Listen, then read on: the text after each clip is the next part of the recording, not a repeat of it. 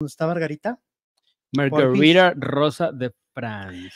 Y pues hablemos de Café con Aroma de Mujer, que con todo y William Levy se van del aire, según lo que cuenta la leyenda. Pues se tardaron, ¿no? A ver, llevan meses con un hoyo ahí. Sí, ¿no? Porque, a ver, Rocío Sánchez Azuara tiene muy buen rating, lo lleva hasta un millón seiscientos al final del programa, muy buena audiencia. Llega Cafecito con aroma de mujer y pierden más de un millón de espectadores, se van a 500 mil.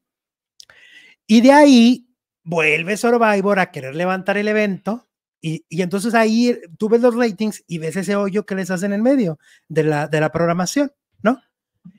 Se tardó TV Azteca en reaccionar.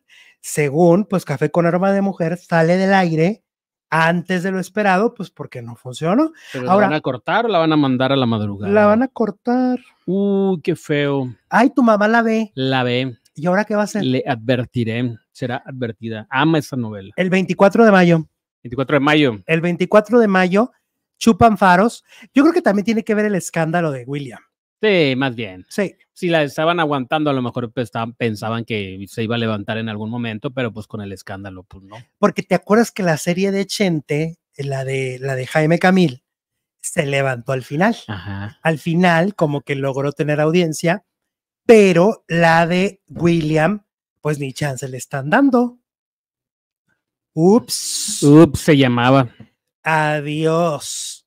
Oye, por cierto, hicimos encuesta. Hicimos encuestas la que acabo de leer. Ah, no, la que No. Dice la encuesta, ¿estás de acuerdo en que sí, la leí hace ratito? ¿Estás de acuerdo en que saquen café con aroma de mujer del aire? 47% dice sí, 13% no y al 40% le vale más de 1200 votos. Dice Funny Animals, a mí se me hace una falta de respeto para los que ven la telenovela si la quitan. Por supuesto que sí es una falta de respeto porque hay señoras, señores, jóvenes viendo la novela no son la mayoría, pero es su novela.